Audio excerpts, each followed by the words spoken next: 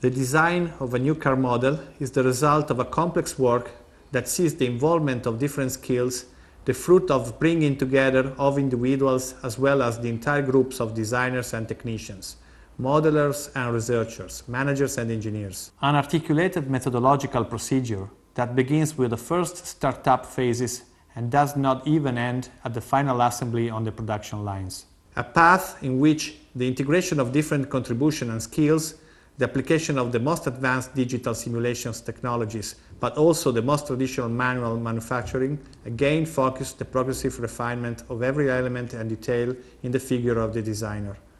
There is a propensity for the invention well rooted in the Fiat identity, designing projects that promote real innovation.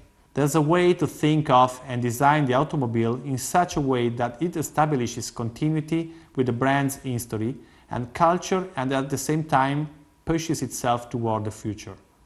The 500L can be listed as an open source project, capable of catalyzing unique experiences and summing them up in a more organic whole, in an idea of compelling transport. The theme of space efficient constitutes one of the fundamental poles around which the Fiat Group design has worked. The basic principle was that of applying a logic to every feature, to every individual aspect regarding the 500L interior, a logic in the sense of ease of approach, interface, colloquialism, simplification, congruence, and even humanity. The route undertaken with the 500 project that, for Fiat, has represented an important phase of a contextualization for its brand now finds a natural and coherent extension in a multi-purpose vehicle like the 500L. The 500L contains a multitude of technological content, from the structure of the safety cell with its anterior double posts, designed in line with the standards enforced in USA, to a new chassis that will be shared with the next generation of models. Similarly, the network connection system, navigation and infotainment utilize suitably simplified human-friendly interfaces and a specific self-diagnosis apparatus.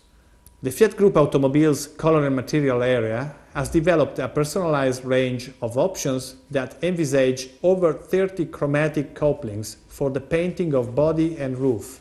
This research has allowed to application of technologies and production processes that further increase the quality and value of the physical, tactile and visual properties of materials, individual fittings and the finishing.